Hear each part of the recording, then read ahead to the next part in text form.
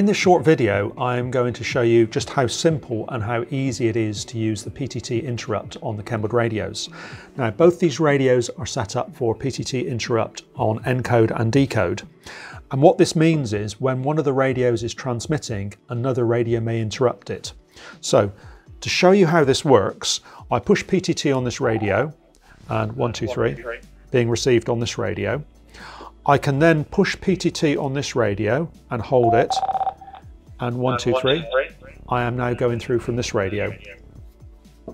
So what happens is when someone is talking, another radio can interrupt it. When you push PTT on this radio, you can then quickly click PTT on the second radio and it will then interrupt. And this one will have a beep so as it knows that it's been interrupted.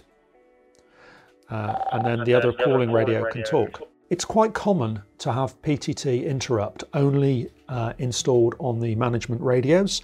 I think this is actually a bad idea because when you're using PTT interrupt, the interrupted radio always knows the ID of the radio that interrupted it, assuming it has a display. And it may well be that a manager, although a more important person, the actual message is far more important coming from someone else. So the ability for anyone to interrupt anyone else is actually a very positive thing. And I think all radio should have that because it is known who is interrupting you, then they'll only do it when it is actually very important.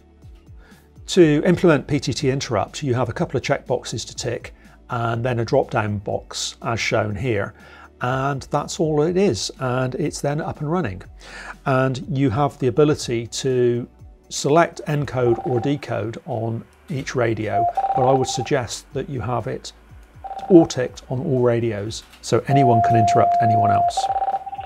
And this is all you need to know about PTT interrupt on Kenwood radios and specifically on the NX1000 series.